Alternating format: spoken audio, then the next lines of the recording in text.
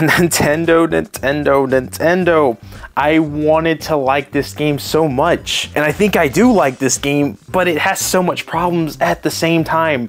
I'm like so conflicted here because there's a lot of good things with this game that we're about to talk about, but a lot of bad. And there's probably more bad than there is good, but at the same time, it's just so fun that I'm conflicted here, guys. I'm truly am. We're gonna go over everything, but today we are going to be talking about the Nintendo World Championship Edition or NES Edition of, for the Nintendo Switch. This recently just dropped for the Nintendo Switch. It was something that really no one was expecting for the Nintendo Switch it kind of got leaked and then a few days later it got announced and then it was coming out in like five weeks time. And here we are with the game. And when this got announced there was a lot of good and bad reaction towards this game. There was people excited because they thought this game was going to be a lot of what it ended up not being. And there was people hoping that this would open the doors maybe towards a new NES Remix Pack game, or maybe this would open the door to just something very unique with the Nintendo World Championship brand because we haven't really seen much come out of it since 2017. And the game dropped and there's a lot of problems, a lot of things that you would have thought would never go missing in a game that's missing in a game like this. Let's talk about the one giant thing, especially since this game has somewhat online multiplayer to it. It doesn't have a online leaderboard. It has no leaderboard at all. And you would think with a game that focuses so much on high scores, beating things the fastest thing possible, getting that best record possible, you would think there would be some sort of leaderboard to this game. And there's not. I don't know how in the world they thought that it was okay to release this without a leaderboard because I would have thought that that should be like the number one feature here, especially since you have like somewhat online to the game. Which brings another problem to this game right here that I think a lot of people will be running into as an issue, and that's no proper online. Now, we live in a world today where we don't get to hang around friends like we used to back in the day, especially since COVID. You know, I think a lot of people look at things differently now. And a lot of people just have online friends. That's kind of the thing now. A lot of people are far away, they don't have time to come around to play video games. This is a game that focuses so much on having the local co-op, having people come over to your house. This game has online, but it's not true online. It's like kind of like Mario Bros. Wonder, where it's got like the ghost data of previous levels of what people have played, and you're playing that with them the online it's not good and it should have had proper online because this would have been a game that I think would have been very popular if it had said online to the game. And then we bring up another problem with this game that was really kind of shocking to me, especially with how the new Nintendo World Championships have been with the actual championship back in 2015 and 2017. The thing about those championships is it had a remix of all Nintendo consoles to it. So you truly did not know what you were going to be playing in that.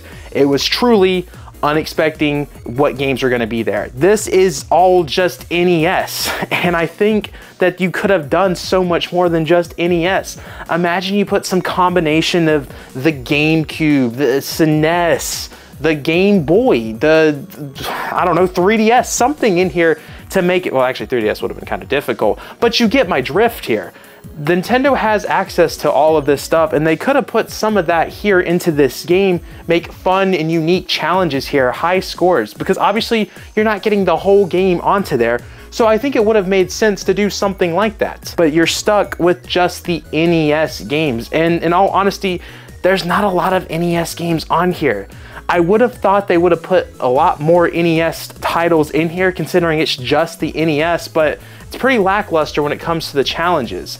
If you're going particularly just for this challenge mode, getting S tier ranks on everything, you could probably beat this game I would say probably less than five hours, especially if you're really good at the game, you'll probably do it pretty fast because there's just not much content in this. Now, I had fun going through these games, but something I had a problem with with this game is, and this is like kind of a complaint, a big complaint, but at the same time, it's kind of minor, but I feel like it should have been easier to restart these games. I was doing so many things, accidentally exiting out of the game multiple times just trying to restart a level because I was trying to beat my high score. There was too much work that had to be done to restart a level and I feel like there should have been an option to just easily like, hey, press this button, instant restart. That was not an option here into this game. I also feel like there should have been a mode where it like randomizes what game you're about to play. Like a full on randomize between all titles that they had in this game. They kind of have that in the somewhat online mode, but you're only getting like two or three games and then it starts to be the same exact stuff every single time. This, I feel like you could have remixed it with all the challenges and like kind of just like a, I don't know what mode you would call it, but just like a randomizer. You put yourself in 15 levels, you don't know what you're about to play, boom, get the highest rank possible or fastest speed possible to beat this level. Something like that, I think people would have gone crazy for, especially for those with single player content, because there's just not enough of that in this game. We talked about my idea of making a proper Nintendo World Championship game where it's just a bunch of today's titles, old titles, everything combined into this, which I still think would be an awesome idea. I think people would buy that up. I think if you made a $60 version of that, where it's like a new game in terms of unique challenges, all that type of stuff, think people would go crazy over that. Fortunately, we didn't get that. We got this $30 NES edition, which brings up another point that I don't think enough people are talking about. It's called the NES edition, which probably means we're getting way more of these games down the road on the next Nintendo console or maybe even the Nintendo Switch depending how long the system lasts into next year. I would not be surprised if you see a SNES edition, a Game Boy edition, a GameCube version, because this probably sold very well for Nintendo, especially at that $30 price tag they probably will release a few more of these. I know for me, I would have liked them at this point just to make a new NES remix pack rather than what this was because this is something that had so much potential that ended up being nothing what people wanted. I think a new NES remix pack would have been the perfect way to go if Nintendo wanted to do something with NES games. I still had a lot of fun with this game, especially using the NES controller that Nintendo released for the Nintendo Switch. It's been really fun playing these games that way.